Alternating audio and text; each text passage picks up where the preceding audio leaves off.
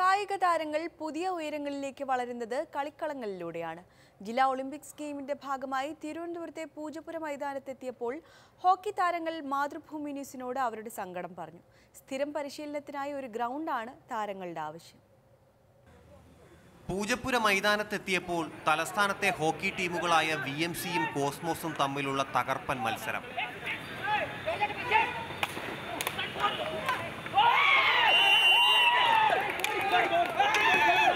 മത്സരത്തിനിടയിലാണ് Olympian P R Sreejesh കളിച്ചു വളർന്ന Thycaud hockey ക്ലബിലെ കുട്ടികളെ കണ്ടത്.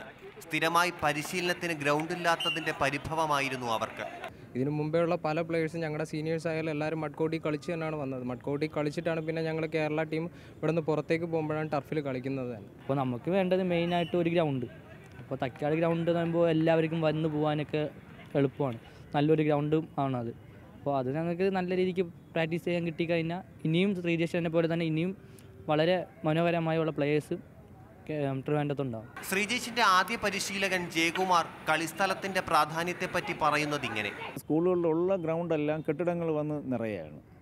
അപ്പം കളിസ്ഥലമില്ല. കളിസ്ഥലം ഉണ്ടെങ്കിൽ മാത്രമേ കുട്ടി കളിക്കാനൊരു ഗ്രൗണ്ടുള്ളൂ അതുമാത്രമല്ല ഈ കുട്ടികൾ രാവിലെയും വൈകിട്ടും ഗ്രൗണ്ടിൽ വന്നു കഴിഞ്ഞാൽ അവർക്ക് ജീവിതത്തിലൊരു സിസ്റ്റമാവും എല്ലാവരും ഒളിമ്പ്യന്മാരാവണ്ട. പക്ഷേ എല്ലാവരും ജീവിതത്തിലൊരു നല്ല പൗരന്മാരായിട്ട് ജീവിക്കാം.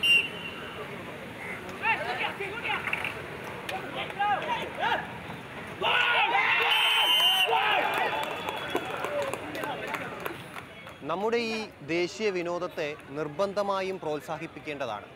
ഈ കൂട്ടത്തിൽ നിന്ന് ഒരു ശ്രീജേഷെങ്കിലും വളർന്നു വന്നാൽ അത് നമ്മുടെ നാടിന്റെ അഭിമാനം വാനോളം ഉയർത്തും. പ്രേംശശിക്കൊപ്പം T S Harikrishna Mathrubhumi news Thiruvananthapuram.